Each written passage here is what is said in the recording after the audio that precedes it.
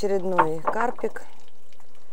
Мы их не заставляем ждать, мы их сразу отпускаем домой.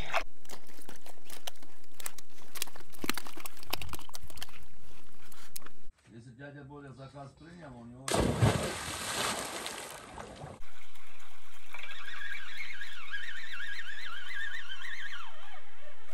Так, Что там у нас? Оп.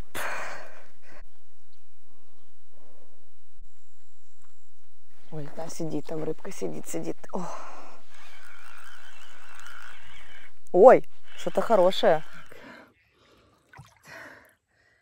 Ребят, всем привет. Я уже сняла большую часть, наверное, этого видео про рыбалку летом на Днестре. Но вот сейчас 12 часов дня, я понимаю, что начинать нужно с этого. Вот такие реалии рыбалки в середине июля. На улице 35, ощущается, наверное, как 45, вода 31 градус. До 6 вечера будем как-то выживать, даже, наверное, по опыту вчерашнего дня почти до 8 вечера будет такая жара.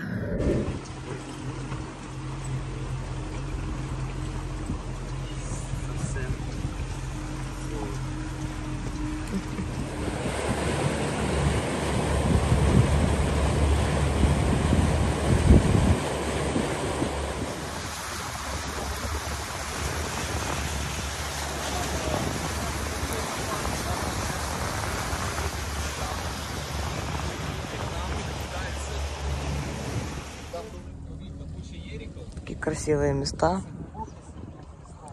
Дядя Боря нас катает, показывает красоты.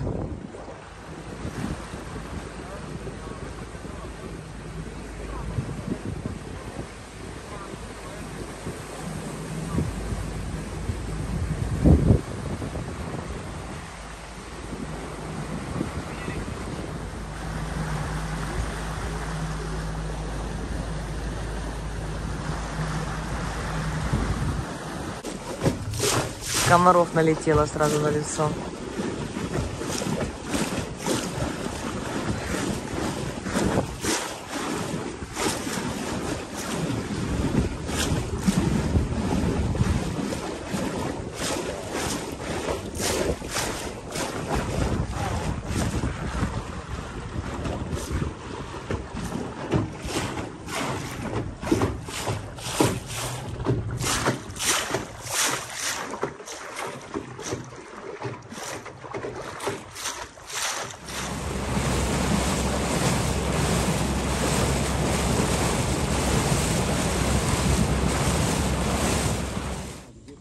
Добрались мы, ребята.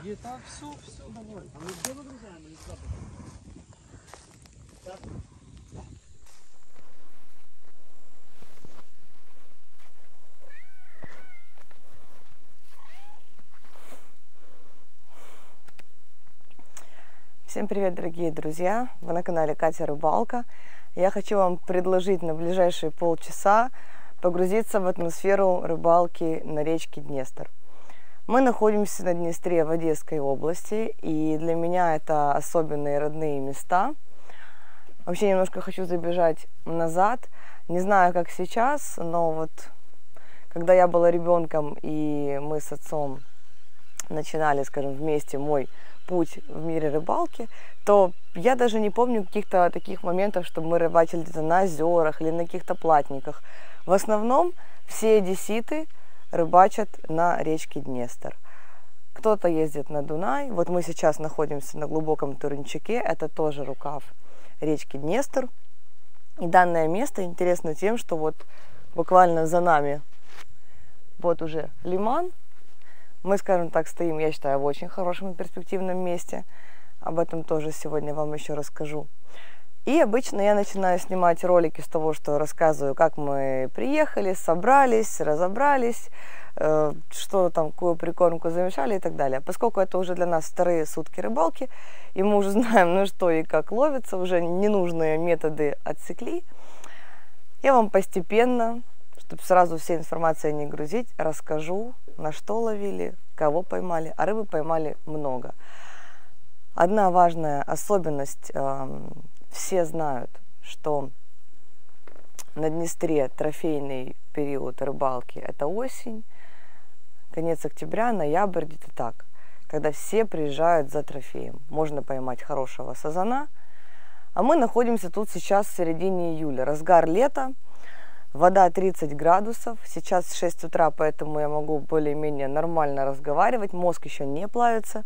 Вчера с часу дня мы практически не вылазили из воды, потому что находиться вот так вот на улице невозможно. Мы с Сашей оба одесситы. Хоть и встретились мы и познакомились с ним в Киеве, но вот представьте себе иронию судьбы. Я прожила всю жизнь в Одессе, и Саша прожил всю жизнь в Одессе. И есть у меня подписчик Коля, которого я вам сейчас покажу. Коля еще где-то с полгода назад написал, что хочет пригласить нас на рыбалку, на Днестр. И вот он так настоял, он говорит, я все организую. В эти места, сюда на глубокий Турунчук, добраться на машине нельзя. Сюда можно доехать только на лодке. И, в принципе, из Маяк есть э, компании, которые доставляют людей сюда, в эти места. И вот Коля говорит, я все организую, будут лучшие места. Лето, жара, даже ради комфорта, чтобы всегда был какой-то тенек, будут домики. И вот мы с Сашей доверились ему, приехали, и вы знаете, все получилось даже лучше, чем мы ожидали, потому что у нас не только тут комфортная рыбалка, я вам сейчас покажу, домики и все. У нас прекрасная компания, Сева, Коля, дядя Боря, коты, вкусный чай, вкусный шашлык и классный клев. Надеюсь, вам будет интересно это маленькое приключение. Друзья, по логике вещей сначала покажу, как мы обустроились. Только, наверное, на пустом домике соседнем, для того, чтобы вы поняли всю картинку. Потому что выложила в инстаграме, что мы отдыхаем на Днестре, и меня одесситы просто разорвали на части. А где это, а что это? Сколько бы мы ни ездили на глубокий Турунчук, мы ни разу не доезжали до Лимана и, и реально ни разу не видели эти места. Поэтому, когда Коля мне скинул фотки, где мы будем жить, я думаю, а где это вообще, что это такое? Ну вот, вот и приехали, смотрите. Значит, живем мы вот в таких домиках. У каждого домика есть вымостка, есть беседка. Так, глубина у нас сразу здесь обрыв на 2, потом 3 и 5 метра. Ну, в общем, а, кто не знает, это а, глубокий Турунчук. Это искусственно вырытый рукав из Днестра в Лиман. Если я не ошибаюсь, собирались строить какую-то электростанцию или, в общем, что-то собирались строить, и для этого прорыли глубокий канал, довольно-таки широкий, но в итоге эту тепловую электростанцию, там какую, не знаю, не построили, а канал остался и стал любимым местом одесских рыбаков. Значит, вот такие здесь домики. Я, конечно же, оставлю реально информацию по проживанию. Я понимаю, всем интересно. Ребята, это не реклама, вот просто говорю, где мы живем. Я здесь э, по воле судьбы, потому что согласилась с Колей поехать на рыбалку. Четыре кровати, печка. Я бы хотела, чтобы был, конечно, кондиционер в такую жару. Но, тем не менее, тенек это уже огромное, огромнейшее спасение. Нас сюда доставил дядя Боря на таком своем корабле. Вон, собственно, и он. Ребят, вот Коля. Одессит э, в эм, кофте Динамо – это редкость. Да. Вот Коля нас пригласил на рыбалку, вот это все организовал, и, в общем, дядя Борю подбил, и Сева еще с нами, Сева повар. У нас, в общем, такая классная компания получилась. Да. А самое главное, что я, я, я смотрю в Инстаграме, мне пишут, так это же Николай, все тебя знают. Ну, да. Как одессита рыбака, Коля снимает видео из Днестра, у него есть канал «Рыбалка и не более». Не как все блогеры, без рекламы, да, скажи, ничего такого нет. Конечно, пока да. Ну, пока? Да нет, на самом деле чисто для себя, поэтому. Я надеюсь, тебя будет слышно, ты говорил, мой микрофон, а если не слышно, то я подпишу там, что ты сказал. Но я обязательно оставлю вам ссылку на канал Коли, он рыбу уже набомбил, и карпов поймал, и все, короче, классно. Обязательно подписывайтесь, потому что свежие новости из Днестра всегда будут у Коли на канале.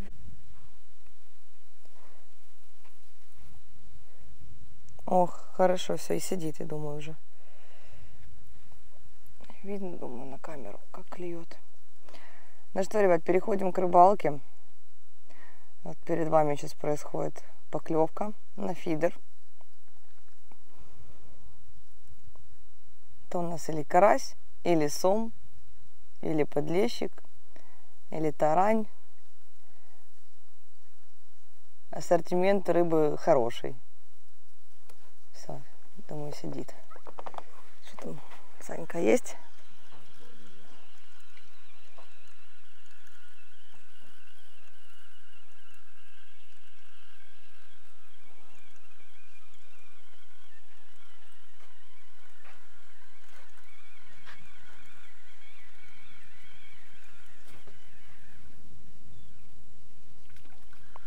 Карась?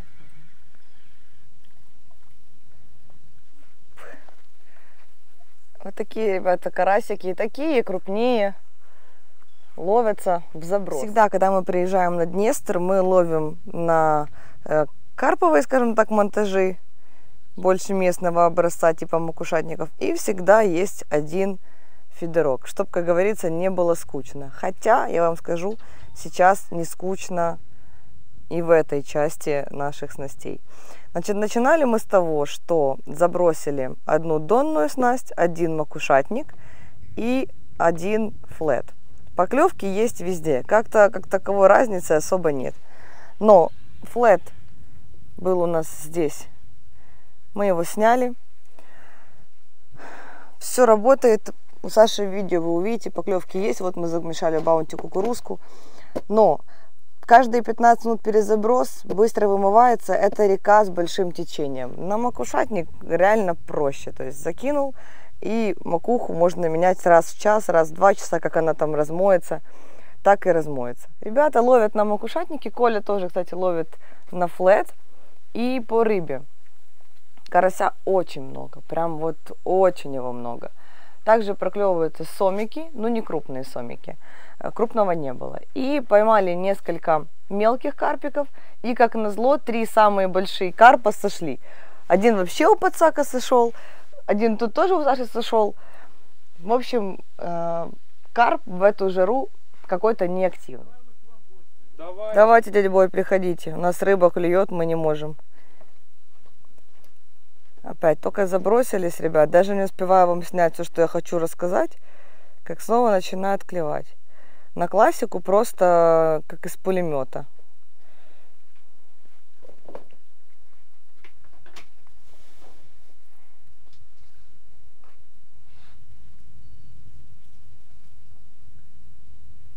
Маленькие потяжечки есть.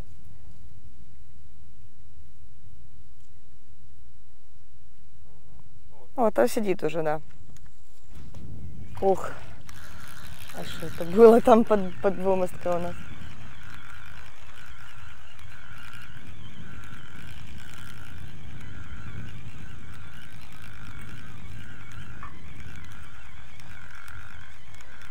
Что-то есть.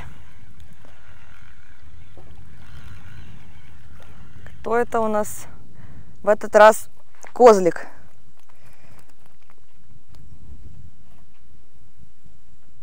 Про классический фидер. Значит, на э, наживку используем опарыша или червячка. Клюет и на то, и на то, и карась, и подлещик, и сом, кстати, тоже на опарыша ловится. Вот три таких опарика. В кормушечку используем кашку. Здесь замешана у нас флагмановская с ароматом бисквитного такого. Вот она скоро закончится, замешаем еще новенькую. Ну, в общем, точка уже прикормлена и работает. Ловим на рейзер до 140 грамм. Он э, мягкий, это хорошо, это приятно. И такой тест, как бы речка, вы же понимаете, нужно, чтобы было. Он на катушке э, флагман. Очень хороший получается набор. Кстати, кормушечку используем такую с ребрышками, чтобы она за дно цеплялась и, э, скажем так, как-то держалась, потому что Днестр известен всем своим сильным течением. И фидерочек стоит на клипсе, чтобы бросать в одно и то же место. Далее на родподе стоит у нас на карповых монтажах два рампейджа до 180 грамм. На катушках CarPro Escol. Леска, кстати, это тоже CarPro, такая вот э, камуфлированная. Так много за леску спрашивают, ребят. Ссылки оставляю в описании на все снасти, что у нас есть. И стоит еще у нас здесь еще один Razer только уже до 160 вот Смотрите, что-то видите, дзёбает, дзёбает. Я вижу по кончику и свингерочек подскакивал. Скорее всего, что-то уже какой-то карасик сидит. Просто э, карась, э, вот эти вот мощные снасти, не всегда срабатывает сигнализатор. Зато когда у нас клюет карп, мы знаем, сразу бзз, классически поехала. Топ, насадка, горох. Сейчас снова будем наблюдать поклевку на классе. Уже видела. Ребят, почему еще решили перестать ловить на флет? Еще потому, что раз клюет на горох и на макушатник, это вообще в разы дешевле. Вот. Оставим свои флеты для озер, для платников, скажем так. А на речке, видите, рыба как-то на горох, это, это топ. Можно, конечно, поупираться и полностью рыбачить на э, спортивные такие снасти, на, на флет, на карповые монтажи, перекармливать пельцем. Не знаю, можете написать в комментариях свое мнение. Мы решили пойти путем какой-то экономии. О, о, ох, ох, поклевка. Ой, поклевка классная. Ой, да, сидит там рыбка, сидит, сидит. Ох. Ой, что-то хорошее. Блин, не чувствую уже. Ты видел, как уперлась? Или сошло, или по дороге что-то зацепилось просто. А у нас тут жерех прям под вымосткой гуляет. Не, есть рыбка. Опять козлик. Слушай, пришел козлик на точку. Вот второй раз такое замечаем, что если перестал клевать карась, начинает клевать козлик, надо куда-то перемещаться. Он как проходами немножко. Дядя Боря тут готовит супер кофе, ребята. У нас такой здесь, я не знаю, как all inclusive, круче, чем all inclusive в Турции. Вкусный кофе, красивая посуда, вкусный шашлык. Боже, я не знаю, такой прием. Вот скоро будет завтрак. Правильно? Да. Рыбу мы, как всегда, не забираем, но вот в садок решили поскладывать, чтобы вам показать улов. Мама уже позвонила и сказала, чтобы карасей мы обязательно привезли на жарку. Там уже бабушка оборвала телефон. Видите, опять федорок клюет. Так что покажем, что поймали. И я думаю, с десяточек карасей заберем и все остальное, конечно же, выпустим.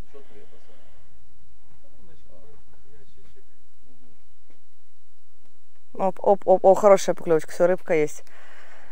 Рыбка есть. Ого, что это вы такие, чай у вас? Да, мы чай готовим с утра, завтра. да, это зеленый чай с лимоном. Да, я пошла доставать фидер опять. А парик на месте, даже не будем его менять.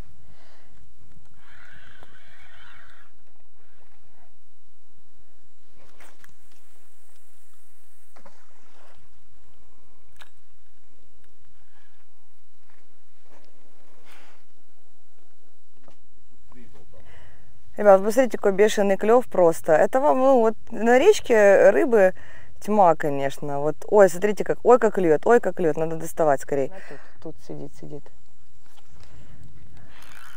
Вот такого, на, на платнике такого клева нету, как на речке. Просто сумасшедший клев.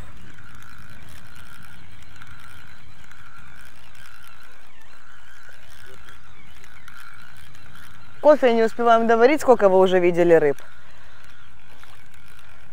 Опять козлик. Где наш карась делся? Вот и карась. В общем, нужно кидать подальше, чтобы был карась. Кидать поближе, сразу же какие-то козлики, мелочь какая-то, а хорошая рыба сидит на глубине. Вот так вот на макушатник, на горох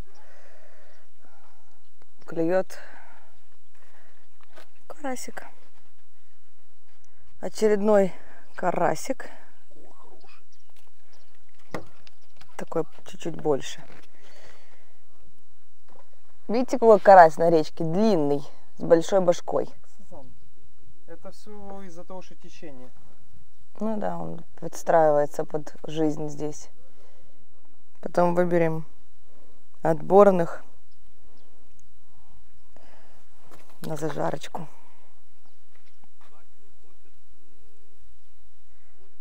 Вот, ребят, я снимаю около получаса. Посмотрите, сколько поклевок. Видите, на средней опять вот там, скорее всего, уже что-то засело.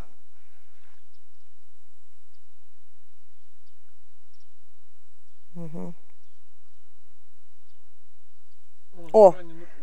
Ой, хорошая, ой, хорошая поклевка. В тени буду стоять. Так вот.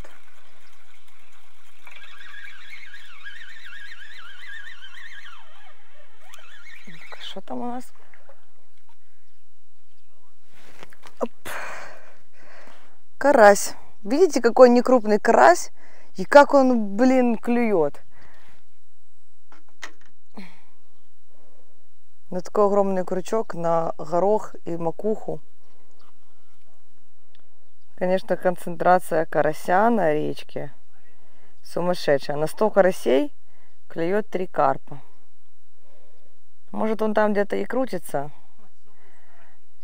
Но карась... О, опять он средняя удочка, все, ушла. Капец, посмотри, что творит. Карась не дает ему. Если бы, конечно, был крупный карп, он мог бы, наверное, его вытеснить. А если карп мелкий такой, да, то он его не может заставить уйти.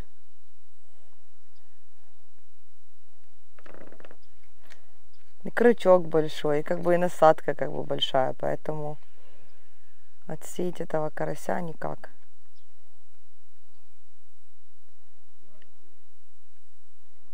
Там сидит уже понятно.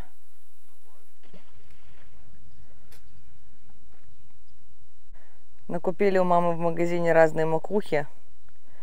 Там макушатники готовые тоже купили. Видите, разная макуха. И зеленая есть, и желтая, и обычная черная. Короче, кукурузная, гороховая, разная. И на любую макуху клюет. Нету такого, что на какую-то клюет, а на какую-то не клюет. Это самый активный клев как раз в это время. Видите, только вот, вот при вас Саша достал карася, удочку только перезабросил, даже не успел. Вот тут уже на этот фидер поклевка. Это просто разрыв. Так вот, если сесть и поставить две удочки, за которыми постоянно смотреть, то в принципе... Не, ну вдвоем на две, я имею в виду, оставить и вот сидеть, то можно, да, килограмм, наверное, 100 того карася наловить. Посмотрите, как клюет, видите?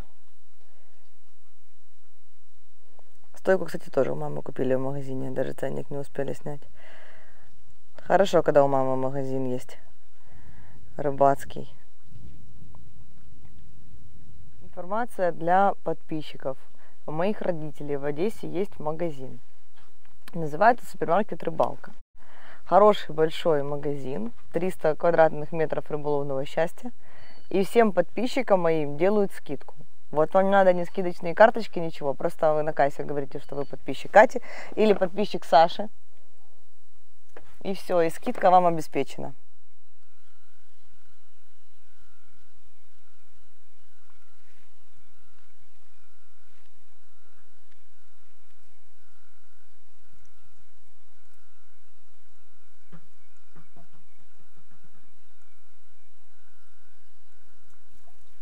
Козлик или что? Видишь, на фидер начали ловиться подлещики. А здесь у нас на макушатнике ловятся караси. Вот такого Коля карпушку поймал.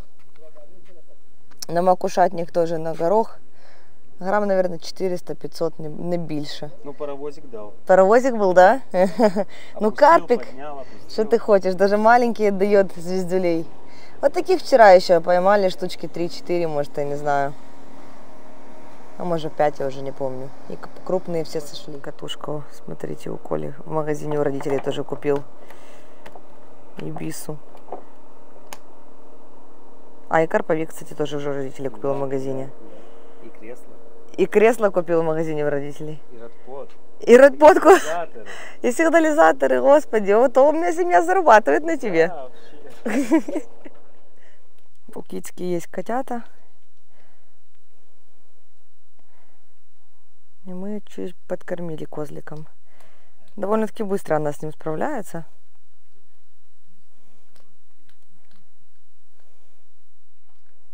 Дядя Боря вот нам кукурузки еще приготовил горяченькой. Что карп кушает кукурузку, что мы кушаем, правильно? Что, да, что мы кушаем, Чтоб- да. То, что не доедим, если что, можно и карпику. Не, дай, Дим, она очень вкусная.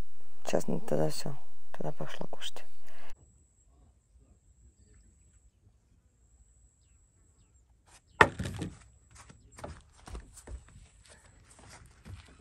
То есть вы поняли, это сейчас температура воздуха. Следующий кадр будет всем понятен. Если дядя Боря заказ принял, у него Течение такое сильное. Только ради интереса.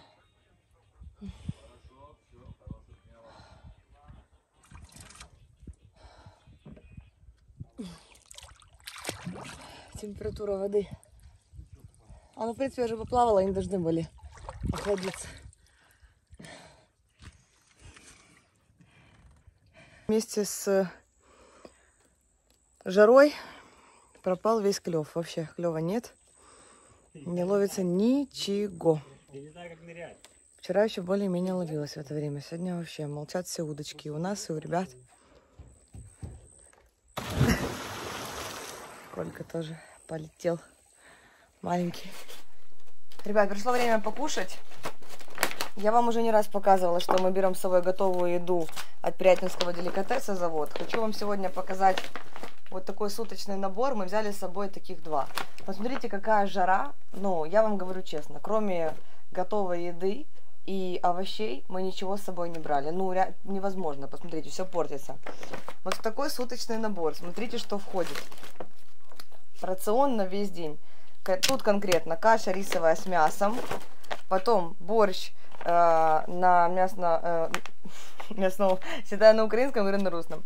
Мясо в кистковом бульоне с яловичиной. Мы вчера, кстати, борщ с Сашей разогревали, ели. Вот. И еще здесь у нас идет э, картошка с овощами мясом свинины и каша ячна с мясом яловичины. Вот. Помимо того, там есть сухари и вот такой э, галет, хлебушек, приборы, чай и салфетки. А, смотрите, эта еда не только вкусная, она и безопасная. Я вам говорила, что э, нам очень нравится действительно и стоит недорого. Но э, это сухпайок 17 года. Пирятинский деликатес завод делает эм, сухпайки для нашей армии. Раньше солдат даже не мог мечтать о том, чтобы покушать э, супчик. А теперь это возможно. Мало того, вам покажу, как можно разогреть э, беспламенным способом. Смотрите, что мы делаем. Вот этот пакет, кстати, со вчера, видите, уже использованный, он многоразовый. Это пакет для разогрева. Вот так отдельно упакованный реагент. Закидываем его в этот пакет. Здесь есть уровень того, сколько нужно налить воды. Воду можно брать э, часто с водоемом, мы берем без разницы. Это никак не влияет на результат или на вкус. Я наливаю всегда максимальный уровень быстрее будет разогрев. И в такую жару я вам скажу, что можно не по отдельности, а сразу два блюда разогреть в одном пакете. И все получится. Все. Сворачиваем, смотрите, сейчас буквально... О, моментально такая я убираю руки, ау, ау. Чтобы не шпариться. Нужно опереть. Ребят, нас много спрашивали по поводу комаров. Смотрите, вчера была такая лафа, вечером был ветерок, и комара не было вообще. Но только ветерок затих, они как тучи на нас спустились. Оп, это что, поклевка? И просто было некуда. Причем комары такие огромнейшие. На зеленый.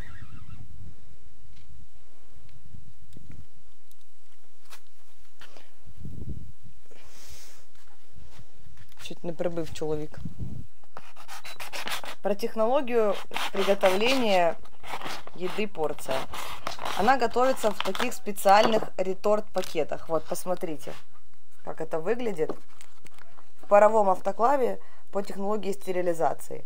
Благодаря, это, по сути, консервация, благодаря чему еда сохраняет свои питательные э, элементы. Смотрите, какая фасолька, много мяса. И это реально очень вкусно. При этом умирают все вредные а, микроорганизмы, ненужные нам бактерии. То есть это еще и безопасно. Все, бон аппетит. Это карась здоровенный. Как всегда, приходит во время еды. Смотрите, какой хороший карась. Очередной карпик. Мы их не заставляем ждать. Их сразу отпускаем домой. Дай мне микрофон.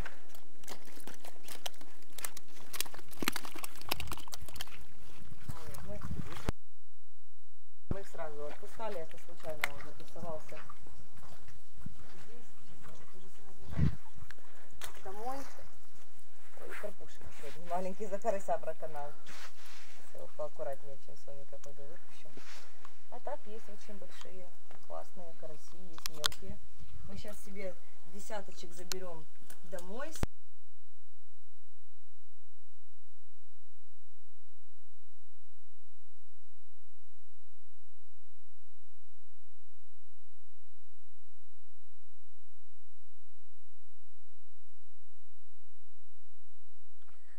Мы как раз находимся на речке Днестр.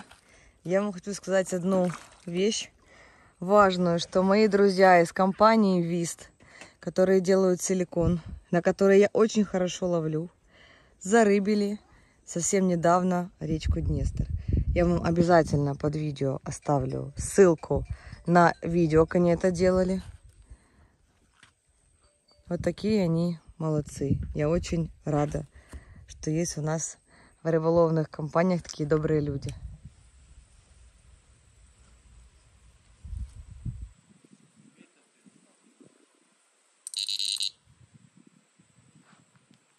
Zay.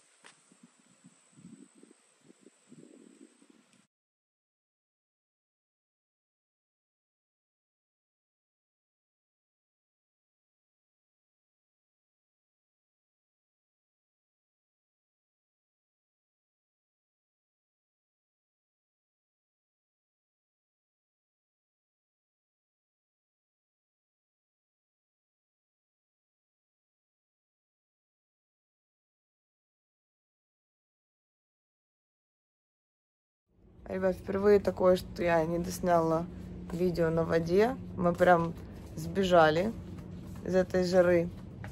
Сейчас тут под кондиционером в магазине пришла в себя чуть-чуть. Но вот по опыту, по, по итогам, точнее, этой рыбалки, э, можно сказать, что карася ловится очень много. На 100 карасей где-то 3 карпика. Карпики все маленькие. Вот, большой, большой карп не ловится. Он ловится где-то в, ну, в октябре, в ноябре. И мы обязательно вернемся. Дядя Боря очень колоритный парень. Я думаю, вы согласитесь. И я думаю, еще свой трофей на Днестре мы поймаем. Так что заканчиваем магази- в магазине видео. Все приходите к моим родителям. Кстати, так много людей говорят, что так хорошо обслуживают и такие приятные, порядочные люди.